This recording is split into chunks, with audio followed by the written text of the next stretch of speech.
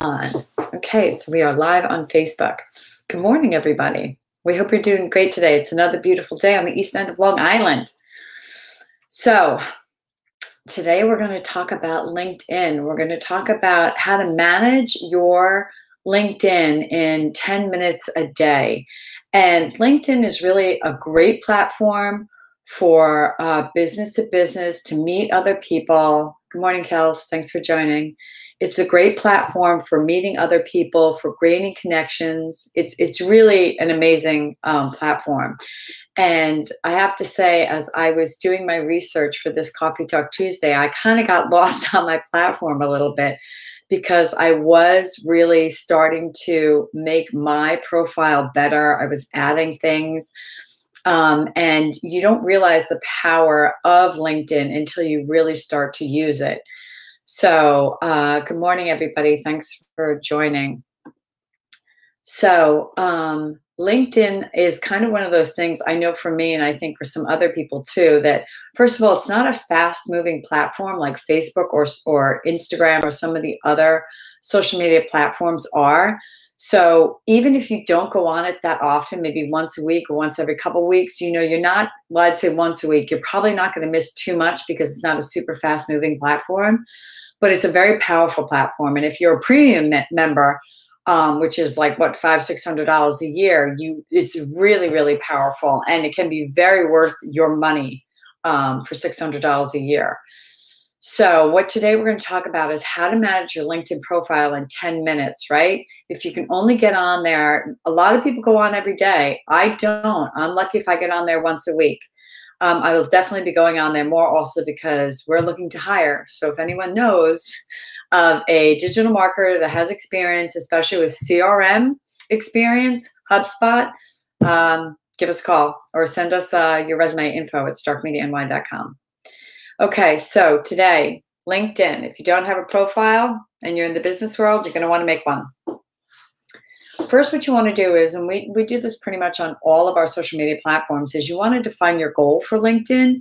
You want to you want to make sure that LinkedIn is the platform that you want to be on, right? As opposed to another platform. It's going to have to serve you a purpose because all of these platforms do take time and you don't want to waste your time on something that's not going to reap some benefits.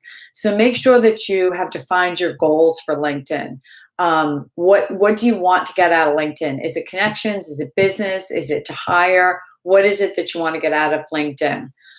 And um, be sure that you don't waste time um, just searching on linkedin because that's pointless for you as well so, what you want to do is make sure that LinkedIn first is a good platform for you. Secondly, you want to make sure that if it is a good platform for you, that you have optimized your profile. Be sure to complete your profile, right? Be informative and relevant to the audience that you want to attract. Just don't go on and post your CV because that doesn't tell people much. That tells them what you've done, but that doesn't tell them what you can do for them. So be sure to go on there and really fill out your profile, I did notice that I was even missing some things in my profile, and I went in and I put some more things on there. Um, make sure you have a professional or a really good headshot on there. Be sure to have a headline and a headline like, I do these things. I enjoy helping businesses do these things. This is what I'm good at. Something like that. Just don't just don't write that basic like, oh, we're a blah blah blah company. That doesn't tell people enough about you um, complete the about section tell them how you can help them. Populate your experience sections with descriptions for each role. Really give definitions right? Just don't be like oh i was a digital marketer. Really tell them what you did in your digital marketing. Um, complete your skills section and you can list up to 50 skills 50 skills in your skills section. That's a lot. And then be sure to put in your education details. People want to know all right. So make sure that your profile is business ready. Three, prioritize regularly engaging on LinkedIn. So this is just like any other platform. This is like just like what we tell um, our clients. You know, don't spread yourself too thin, but pick the pick the platforms that you know are going to reap the benefits. And so if LinkedIn is a platform that you know that you will get benefits from, be sure to prioritize your engagement. And that's the point of just giving yourself like either 10 minutes a day or, you know, 20 minutes a week to go on and to go through your platform. Um, like I said, it's not a fast moving one, so you're not going to be missing a lot if you can only get on once a week. Um, so uh, what a lot of people do is even I, I'm I'm at fault for this too. You know, I'll be really busy and I will be able to go onto my LinkedIn platform, and then once I go on, I'm like, oh, liking and sharing and doing this and posting something. All of a sudden, I go dark for like a couple weeks.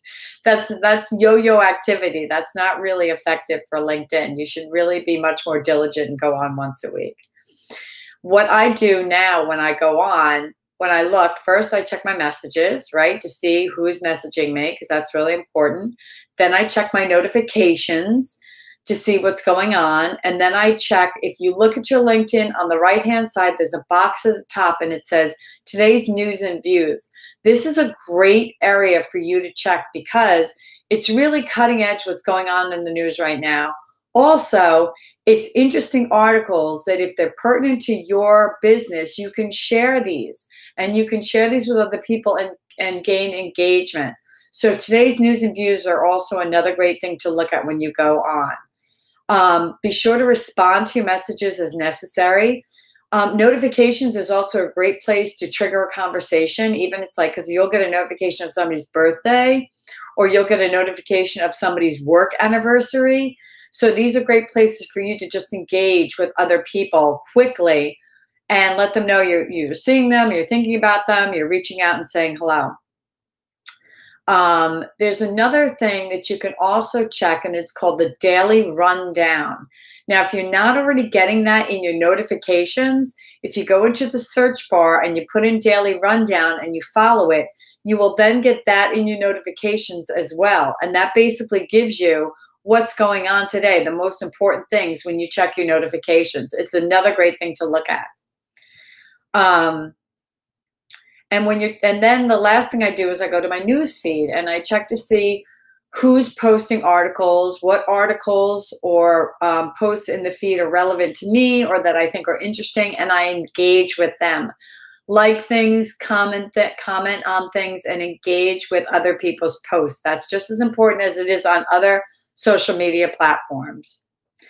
Um, next one you want to do is you want to share your content on LinkedIn, right? You want to share things that are interesting, that are important, that you know other people are going to want to comment and share on.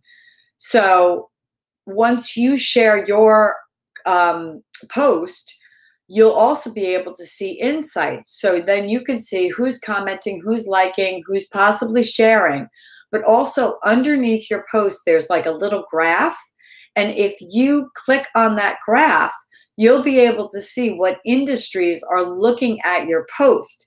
Now, this is really important because this is going to tell you whether you're hitting the industries that are relevant to you.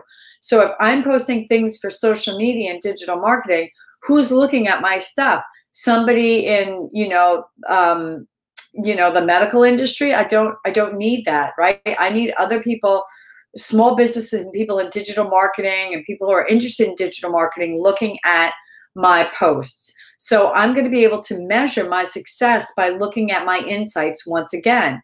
So you're going to want to look at that little graph underneath your post to see who's looking at your um, posts. And of course, if you have a premium, you're going to be able to get a lot more information on that.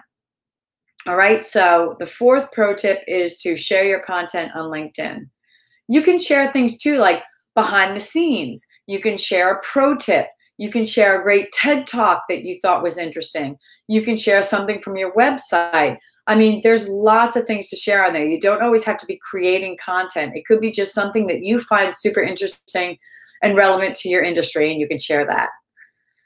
All right. Number five is you want to build your network, right? You just don't want to go on and look at other things, but you want to be able to reach out and start building your network. What I like to do is when I go to networking meetings and I collect people's cards, sometime that week I will go on and I will go onto LinkedIn and I will check these people and their LinkedIn pages because if I want to connect with them, most likely they're also going to have people that I want to connect with as well. So it's kind of like, you know, she told two people and she told two people, you know, your network's going to grow if you're starting to connect with people um, in your industry. So I always look up people that I meet. And I'm, you know, if I find them interesting, then I'm going to reach out and message them and I'm ask them to connect. Um, also, you don't be afraid to reach out to a profile that you like or somebody that you like. I mean, that's the point of LinkedIn is to make these connections. Or the best thing to do is go through their feed. If they have some, an article that you really like, comment on that article. Let them know that you like that article and start a conversation or what you liked about that article. Start a conversation with this person. That's the best thing to do on LinkedIn, and that's really going to get you great connections. Um, and lastly, always measure your success. Like we said, the only way you're going to know if you're successful on LinkedIn, LinkedIn is you're going to see your connections growing. You're going to see your posts, more people liking, sharing, and commenting. And your analytics, you know, look at that little graph to see if um, who's looking at your posts. Is it people relevant to your industry and is it worth your while? So, just as a quick review, of what you should do when you go on your LinkedIn profile if you don't have that much time. When you first go on, of course, make sure that your profile is complete and looks really good. Check your notifications tab, check your messages, and respond as appropriate. Then you want to scroll through the news feed and you want to gather insights from your connections and the companies and individuals you follow and engage with content by reacting with shares and likes and comments, right? Um, then you want to check your daily rundown, which I told you if you don't get it on your notifications, just put it in your search bar and then click follow, and then you'll start to get it. Check the news and views on the right hand side for relevant content to today and things that you can share. The latest business updates so you know what's going on in the world. We all seem to get, you know, into our microcosm of our of our work and sometimes forget what's going on out there. And then you can share or use this uh, um, information as appropriate.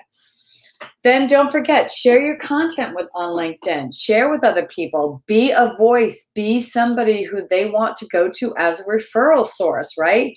You need to be something, somebody that is a um, not just a sounding board, but a wealth of information. People are going to want to start following you, engaging with you, and looking at your profile if you're going to be giving them worthwhile information. Uh, build your network by responding to invitations, sending out invitations, requesting, um, and connecting with people. And then lastly, review and analyze your analytics. That's what we say about every platform, right? You're only going to know your success if you're looking to see if what you're doing is working. Okay, guys. Well, thanks so much for joining me today. I hope this helped you with your LinkedIn profile. It definitely helped me with mine. I will put everything up on our private Facebook marketing group, Stark Media uh, Marketing Group on Facebook. So please be sure to join that because I put up all the steps here um, and how to, in you know, six easy steps, um, define, uh, use your LinkedIn effectively uh, each week. Be sure to follow us on Facebook, Instagram, YouTube, and Twitter. We're here every Tuesday at 10 o'clock to give you guys tips and tricks on digital marketing. We hope that you really liked today and it was useful. If you have any questions, thanks so much. Um, if you have any questions, be sure to send them in to us, info at starkmediany.com. And uh, you guys can always come by and visit 15 West 2nd Street. We're always here. All right, we will see you next Tuesday. Have a great day, guys.